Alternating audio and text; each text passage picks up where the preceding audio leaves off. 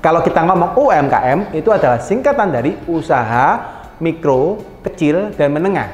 Nah, pertanyaannya apa itu? Nah, di dalam dunia perbisnisan biasanya itu ada badan usaha bernama UD ya atau usaha dagang, ada namanya CV atau persekutuan komanditer, dan yang ketiga adalah namanya PT atau perseroan terbatas. Nah, untuk itu sekarang kita harus coba ulik-ulik ya. Semestinya untuk sekarang kita melakukan penghematan pajak caranya cukup terbatas, tapi tetap ada cara untuk melakukan penghematan pajak secara legal.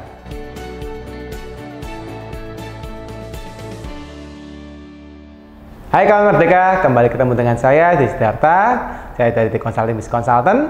Kembali di acara Glam Talk yang kali ini kita akan bahas topik mengenai mengapa penting NPWP untuk UMKM. Oke, jadi mengapa sih NPWP itu penting untuk UMKM? Jadi kalau misalnya Anda lihat teman-teman yang hari ini lagi berusaha untuk usaha yang baru ataupun Anda yang sebagai profesi sebagai UMKM, NPWP ini adalah syarat mutlak untuk kita sebagai warga negara Indonesia. Tentunya Anda yang uh, berusaha, Anda yang memiliki penghasilan ataupun usaha di dalam negara Indonesia. Nah, NPWP ini fungsinya banyak kawan. Jadi yang pertama adalah sebagai sarana untuk menunjukkan bahwa Anda memiliki usaha dalam Indonesia. Itu yang pertama. Yang berikutnya, sebagai warga negara yang baik, tentunya kita juga mesti melaporkan aset yang kita miliki. Ya, jadi ada aset dan kewajiban. Nah, maksudnya apa? Nah, semisal Anda misalnya Anda memiliki harta di akhir tahun, let's say Anda memiliki uang tunai atau Anda memiliki uh, mobil atau Anda memiliki uh, uh, rumah dan kawan-kawan. Nah, ini harus dilaporkan di dalam SPT di mana SPT ini memerlukan namanya NPWP ya harus ada nomor NPWP dulu baru Anda bisa melaporkan. Nah, apa resikonya kalau Anda nggak melaporkan NPWP ini? Nah, ini masalah besar nih. Kalau seandainya Anda tidak melaporkan NPWP ini, tentunya ketika Anda ke depannya ingin membeli aset baru, sekarang sudah tidak bisa kawan. Ya, jadi kawan-kawan Merdeka, kalau misalnya sekarang mau beli rumah atau membeli mobil, ataupun misalnya Anda berinvestasi di uh, uh, deposito ataupun di aset-aset yang lain, tentunya Anda sekarang harus memiliki NPWP. Nah, masalahnya kalau Anda nggak memiliki NPWP, pastinya Anda tidak bisa melakukan investasi lagi untuk usaha ataupun untuk pribadi Anda. Nah, lalu pertanyaannya, bagaimana caranya Anda bisa mendapatkan NPWP? Nah, ini cukup simpel sekali kawan, karena Anda kalau mau mendapatkan NPWP, Anda tinggal datang ke kantor pelayanan pajak. Nah, tadi Anda tinggal searching aja anda lihat KTP Anda, Anda lihat kecamatan dan kelurahannya, searching di Google aja, KPP untuk kecamatan apa atau KPP. KPP itu maksudnya singkatan kantor pelayanan pajak ya. Kantor pelayanan pajak untuk kecamatan A atau kantor pelayanan pajak untuk kelurahan A. Nah, otomatis akan muncul KPP yang menjadi tempat untuk pendaftaran NPWP Anda. Nah, Anda tinggal langsung datang ke KPP terdaftar, Anda tinggal mengajukan beserta Anda membawa KTP ya tentunya ya. Anda membawa KTP, lalu Anda tinggal mendaftarkan diri Anda untuk mendapatkan NPWP. Nah, itu langkah kalau Anda misalnya mau mendaftarkan diri Anda secara offline. Tapi kalau seandainya Anda mau mendaftarkan diri Anda secara online, Anda cukup login ke website www.pajak.go.id dan di sana Anda juga bisa diarahkan untuk mendapatkan atau mendaftarkan NPWP Anda secara online. Nah, tambahan satu lagi teman-teman, untuk Anda yang ingin mendaftarkan NPWP, Anda juga bisa mendaftarkan diri Anda melalui empat bank yang ditunjuk oleh pemerintah, yaitu ada Bank BRI, Bank Mandiri, Bank BNI, dan Bank BTN. Jadi Anda tinggal datang ke bank tersebut dan Anda tinggal memvalidasikan diri Anda serta Anda bisa mendapatkan NPWP langsung pada bank terdaftar. Oke, tadi kita sempat jelaskan apa manfaat secara global ketika Anda memiliki NPWP. Nah, namun untuk sekarang ini di masa COVID ternyata ada fasilitas dari pemerintah terkait dengan NPWP untuk UMKM di mana pemerintah memberikan fasilitas kepada Anda berupa pengurangan pajak sebesar 50%. Ya, pengurangan ini adalah berupa pengurangan angsuran. Ya, jadi teman-teman yang sebagai pengusaha UMKM anda bisa mendapatkan fasilitas untuk mengangsur hanya setengah daripada angsuran pajak yang biasanya Anda bayar. Nah, tentunya pemerintah ini berharap dengan pengurangan ini Anda bisa semakin survive ya, teman-teman ya. Nah, tentunya dengan pengurangan tadi pasti manfaatnya cukup besar untuk Anda. Kenapa? Karena dengan pengurangan tadi, dana yang biasanya Anda bayarkan kepada perpajakan, Anda bisa gunakan untuk perputaran usaha Anda. Jadi buat teman-teman UMKM, jangan ragu lagi untuk Anda segera untuk mengurus NPWP usaha Anda. Mungkin Anda bertanya, siapa sih Pak yang dimaksud sebagai UMKM? Nah tentunya, kalau kita ngomong UMKM, itu adalah singkatan dari usaha mikro, kecil, dan menengah. Nah, pertanyaannya apa itu? Nah, sekarang kalau bisa kita ngomong usaha mikro, kecil, menengah, ini adalah sebuah usaha yang Anda lakukan, baik Anda perseorangan maupun pribadi gitu ya, atau Anda sebagai badan usaha yang memiliki peredaran usaha dan profit tidak terlalu besar. Nah, untuk klasifikasi utama, yang pertama adalah usaha mikro. Nah, mikro berarti usaha yang sangat-sangat kecil di mana peredaran usahanya dia dan profitnya tentunya tidak lebih daripada 50 juta setahun. Jadi kalau Anda misalnya Anda misalnya buka warung mungkin atau Anda misalnya buka sebagai pedagang kelontong atau mungkin Anda berjualan di rumah snack dan kawan-kawan yang memang kategori Anda dengan memiliki profit atau keuntungan bersih di bawah 50 juta setahun maka Anda dikategorikan sebagai pengusaha mikro. Nah, Kategori yang kedua adalah pengusaha level yang kecil, di mana untuk yang level kecil ini dikategorikan dengan profit maksimal adalah 300 juta per tahun. Jadi Anda berusaha setahun, Anda memiliki omset sekian, intinya Anda laba bersih atau untung bersih Anda setahun kira-kira tidak boleh lebih daripada 300 juta. Nah, ini Anda dikategorikan sebagai pengusaha kecil. Yang terakhir untuk pengusaha kelas menengah adalah pengusaha yang memiliki keuntungan di atas 300 juta per tahun dan tidak memiliki omset di atas 50 miliar. Nah, itu adalah kategori daripada pengusaha kelas menengah.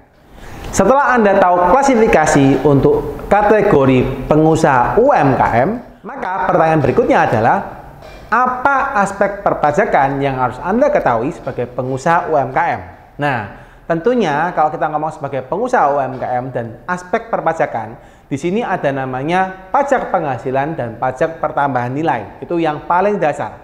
Untuk pajak penghasilan, pajak penghasilan ini terdiri dari berbagai macam unsur perpajakan. Yang paling sering harus dilaporkan untuk UMKM rata-rata adalah PPh 21. Nah, PPh 21 ini adalah pajak penghasilan untuk karyawan. Di mana kalau misalnya Anda sebagai pengusaha UMKM, anda memiliki karyawan, Anda berkewajiban untuk memotong PPh daripada karyawan Anda. Jadi ini yang hal yang pertama untuk aspek perpajakan UMKM. Yang kedua terkait dengan PPh 22. Kalau seandainya mungkin Anda sebagai pengusaha UMKM, Anda impor barang dari luar negeri, gitu ya. Jadi Anda impor barang dari luar negeri, Anda mendapatkan PPh 22. Dan yang ketiga ada namanya PPh 23, di mana PPh 23 ini adalah pajak yang harus Anda potong kalau seandainya Anda menggunakan jasa dari pihak ketiga berupa servis. Nah, untuk jasa tersebut Anda harus potong PPh 23 sebesar 2%. Namun, PPh 23 ini juga berlaku untuk Anda UMKM yang memiliki bidang usaha jasa.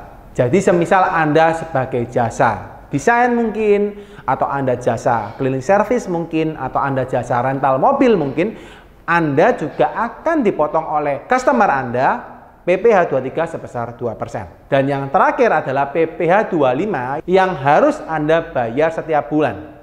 Nah, PPh 25 ini adalah PPh yang merupakan angsuran pajak tahunan namun Anda bayar setiap bulannya. Nah, itu adalah aspek pajak penghasilan yang harus dibayar oleh UMKM. Berikutnya adalah pajak pertambahan nilai. Nah, pajak penambah nilai ini adalah PPN. Mungkin Anda sudah cukup familiar. PPN ini akan dikenakan untuk Anda sebagai pengusaha UMKM yang sudah memiliki omset rata-rata setahun di atas 4,8 M. Atau mungkin Anda mendaftarkan diri Anda sendiri kepada Dirjen Pajak untuk dikukuhkan sebagai pengusaha kena pajak atau PKP. Nah, untuk PPN ini Anda wajib menerbitkan faktur pajak dan menambahkan nilai ditambahkan 10% daripada invoice atau nilai transaksi yang Anda berikan kepada pelanggan Anda.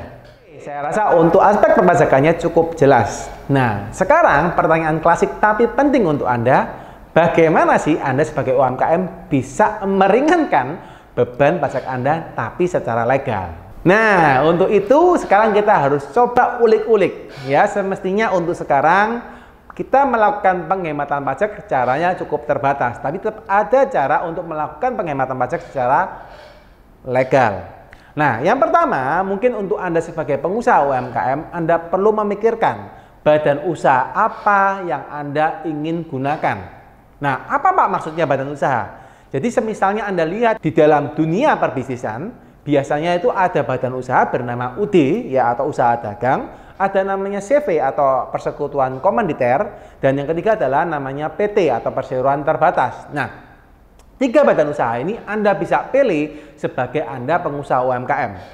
Rata-rata orang pertama kali berusaha sebagai UMKM, dia akan menggunakan UD terlebih dulu, rata-rata ya. Namun ternyata untuk UD ini, karena tarifnya UD itu adalah pajaknya progresif ya. Progresifnya seperti apa? Jadi tarif pertama adalah 5%.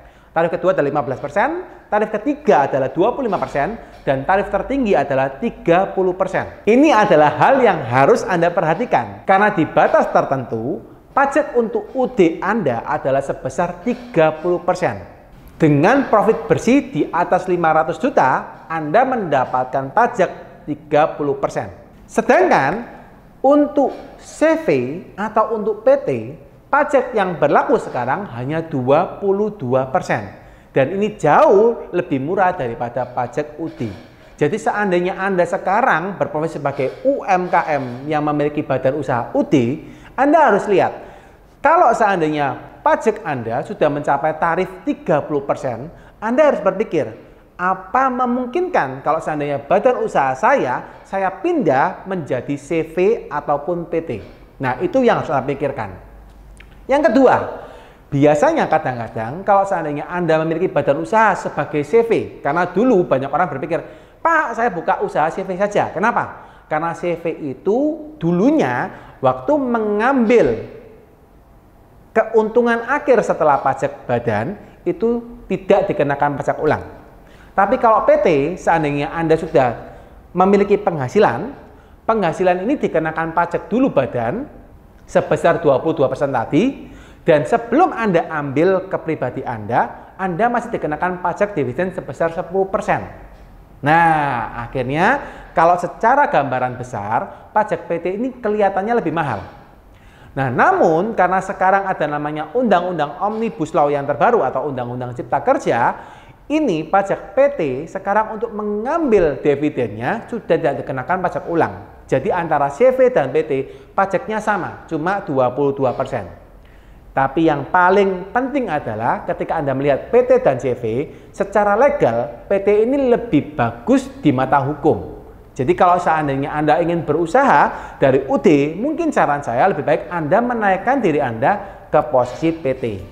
Oke, saya masih memiliki beberapa tips untuk Anda bisa melakukan penghematan pajak secara legal untuk usaha UMKM Anda. Untuk itu Anda bisa follow saya di Instagram at underscore official atau at theconsulting.id. Nah, segitu dulu ya kalian Merdeka. Sampai ketemu di Glam Talk episode selanjutnya, tetap akan membahas lebih dalam mengenai UMKM. 106,7 Merdeka FM, musik terbaik 90-an hingga kini.